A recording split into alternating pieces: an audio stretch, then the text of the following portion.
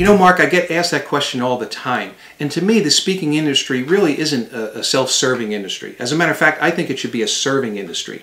And I think, in terms of speaking, we should be worried about sharing ideas, about learning new things, and about inspiring people. To me, that's what speaking is all about. So, what I try and do is to take people deep inside of our championship DNA and I'm going to take them into our locker room. I'm going to take them into our strategy sessions. I'm going to take them into our player meetings. And I'm going to take them into our staff meetings with the intent of trying to get them a good up close look at what it takes to be a champion.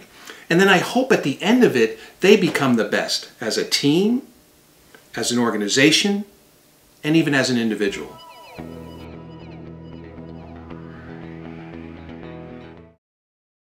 The second behind the scenes story I want to give you, just to kind of lay groundwork as to who we work with every day, is Kevin is an interesting leader, Kevin Garnett, in that he doesn't just put his money where his mouth is, he puts his action where his mouth is. Big difference now. Some people are willing to put their money where their mouth is, but many are not willing to put their money and their actions behind it. So Kev didn't like the way the other rookies were dressing before the game, uh, going to the game. So he said, Look, I got to do something. And I, I said, Kev, just do what you think is right.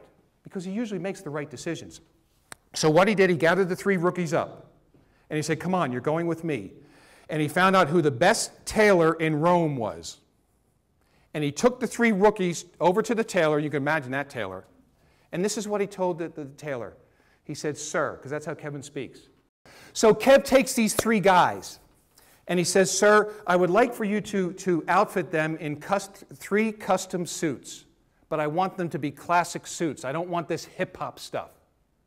Okay? And, sir, here's my credit card to pay for them.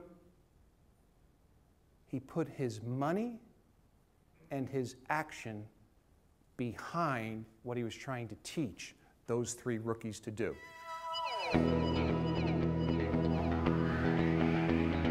But one of the tenets of leadership that I believe in is in order to get to their heads, you must go through their heart. Because if you capture their heart, you have an opportunity to capture their heads. And in today's world, with all the clutter on the, one of the slides that, that, that you saw earlier, with today's clutter, I believe it's a battle for mind space, M I N D, getting into the minds of those you lead, and heart space mind space and heart space.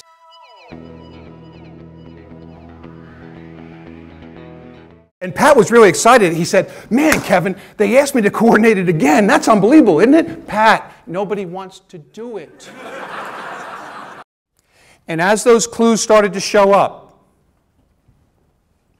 the body got cold, the discoloration in the feet,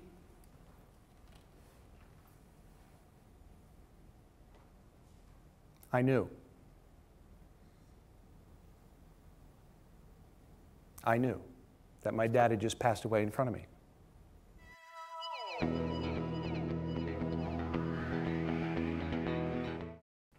You know, Joseph B. Eastman, 1921, like dash 2007.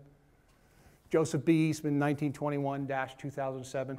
So after the burial, we went to the reception, and people kept coming up to me trying to be nice, and uh, and I kept thinking to myself, man, they don't get it. They don't get it. They're saying stuff like, wow, 86 years old. Holy smokes, I hope I can live to 86 years old.